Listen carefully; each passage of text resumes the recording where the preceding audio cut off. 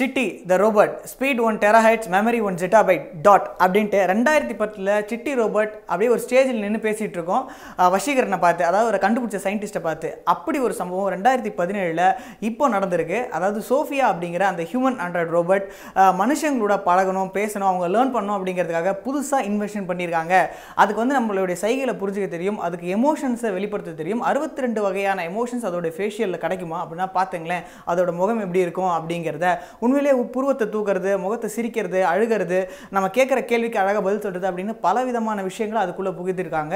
இதெல்லாம் பெரிய விஷயம்.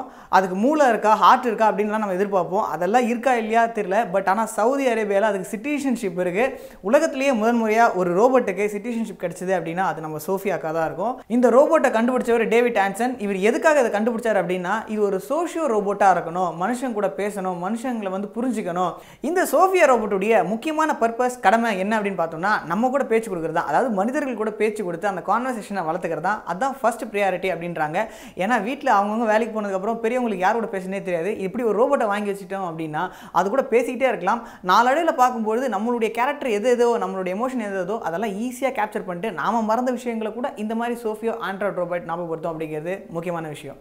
இந்த ரோபோட் கிட்டத்தட்ட நம்ம ரெண்டாயிரத்தி பத்தில் எந்திரன் படத்தில் பார்த்த சிட்டி ரோபோட் மாதிரி நம்ம பண்ணுற எல்லா விஷயத்தையும் திருப்பி பண்ணும். நம்ம யாருன்றதை ரெகனைஸ் பண்ணும். நம்மளுடைய வாய்ஸை ரெகனைஸ் பண்ணும். இதுக்கு பலவிதமான வாய்ஸஸ்க்குள்ளே கொடுக்கறதுக்காக கூகுள் வேறு இதுக்குள்ளே இருக்குது அதனால் வந்து பல விஷயங்கள் இது நமக்கு சொல்லியும் கொடுக்கும். இதெல்லாத்தையும் தாண்டி இந்த ரோபோட் சவுதி அரேபியாவில் ரியாத்தில் வந்து இன்ட்ரடியூஸ் பண்ணாங்க. அதே நேரத்தில் தான் இங்கே துபாயில் டூ பாயிண்ட் ஓ oh லான்ச் நடந்தது. எனிஹவ் இந்த சோஃபியா ரோபோட்டை அழ வைக்கிறதுக்கும் சிரிக்க வைக்கிறதுக்கும் எமோஷன்ஸை வர வைக்கிறதுக்கும் அதனுடைய பின்மண்டைக்குள்ளே அவ்வளோ விதமான மோட்டர்ஸ் இருக்குது இத்தனை மோட்டர்ஸ் இயங்கினா தான் அத்தனை விதமான ஃபேஷியல் எக்ஸ்பிரஷனை அது கொண்டு வர முடியும்.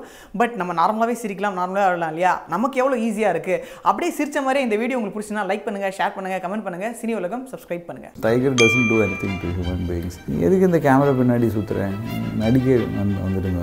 எனக்கு நல்லாவே தெரியும் பம்பாய் நான் பண்ணியா என்னோட லைஃப் மாறும் so I know I can shoot Bombay better than others Bal Thackeray.